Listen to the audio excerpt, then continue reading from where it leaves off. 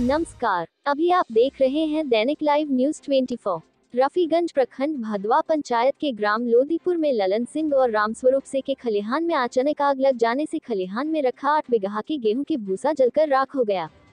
भाजपा शक्ति केंद्र प्रमुख अवधेश कुमार सिंह के द्वारा थाना को सूचना देने के तुरंत बाद दमकल घटना घटनास्थल पर पहुंचकर ग्रामीणों की काफ़ी मस्कत के बाद आग पर काबू पाया गया।